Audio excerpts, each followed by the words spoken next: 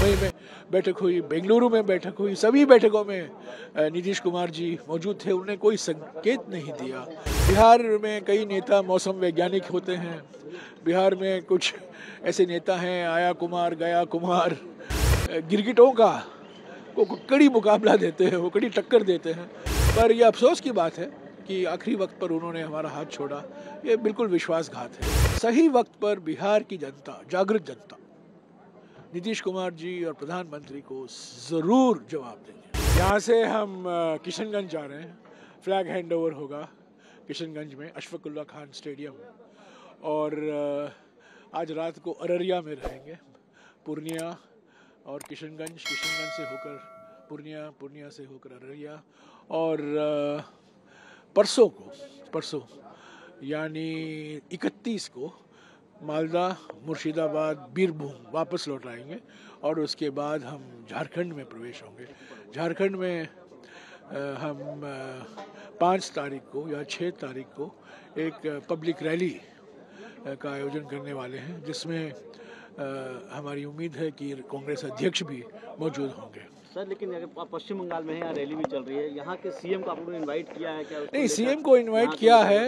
हाँ इस इनवाइट किया है ज़मीनी स्तर पर कल तो जलपाईगुड़ी और सिलीगुड़ी में जो पद यात्रा हुआ दो किलोमीटर का पद यात्रा जलपाईगुड़ी में हुआ दो किलोमीटर का पद यात्रा सिलीगुड़ी में हुआ और हमें उम्मीद ही नहीं थी कि इतनी भारी मात्रा में महिलाएँ युवा बुज़ुर्ग बच्चे सभी लोग सड़क पर आए हैं उतरेंगे। छत पर खड़े हुए हैं बैल्कनी पर खड़े हुए हैं। भारत जोड़ो न्याय यात्रा का स्वागत कर रहे हैं। मैं नहीं कह रहा हूँ ये सब लोग हमें वोट देंगे। वोट वोट नहीं। पर ये रिस्पॉन्स है ना ये, ये कितना ऊर्जा था वहाँ। और इतना उत्साह था। नहीं नहीं देखिए ये इससे सीट शेयरिंग इससे चुनाव का क्या असर होगा ये हमारे संगठन पर निर्भर करता है। ज़मीनी स्तर पर अभी भी कल हमारे कुछ पोस्टर निकाले गए। हमारे कार्यकर्ता नाखुश हैं, हमारे कार्यकर्ता नाराज़ हैं।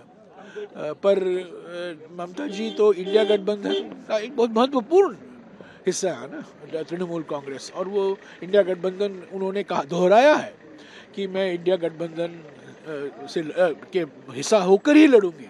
मैं इंडिया गठबंधन को और मज़बूत करूँगी। पर ज़मीनी स्तर पर जो लड़ाई हो रही है, तृणमूल कांग्रेस के कार्यकर्ता और कांग्रेस के कार्यकर्ताओं के बीच में ये मैं समझता हूँ कल थोड़ा हमारे लिए, मेरे लिए भी परेशानी हुई। मैंने उनको समझाया कि ये गठबंधन जो है, राष्ट्रीय स्तर का गठबंधन है। राज्यों में हम लड़ाई कर सकते हैं, जैसे कि केरला में हम वामपंथियों के साथ लड़ते हैं। गालियाँ देते हैं, शोर शराफा होता है, एक दूसरों से हम लड़ते रहते हैं, पर राष्ट्रीय स्तर पर हम लड़ते नहीं हैं। तो ऐसे ही कुछ फॉर्मूला हमें ढूंढ निकालना होगा।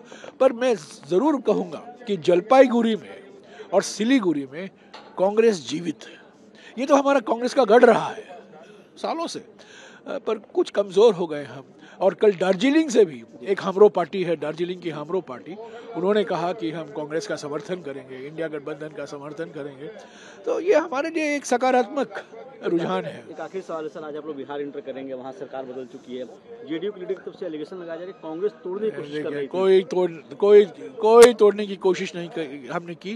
तेईस तारीख को नीतीश कुमार जी ने बैठक बुलाई पटना में। अट्ठारह पार्टियाँ वहाँ मौजूद थी बम्बई में।